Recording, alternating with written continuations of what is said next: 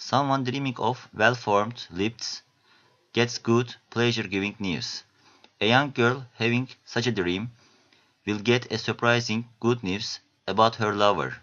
For a single man, this means being appreciated and admired by women. A woman rouging her lips falls into trouble for a lie she told. Seeing rouge on others' lips in dream marks spiteful, jealous familiars around. For married people, nice and beautiful lips are words bringing happiness at home.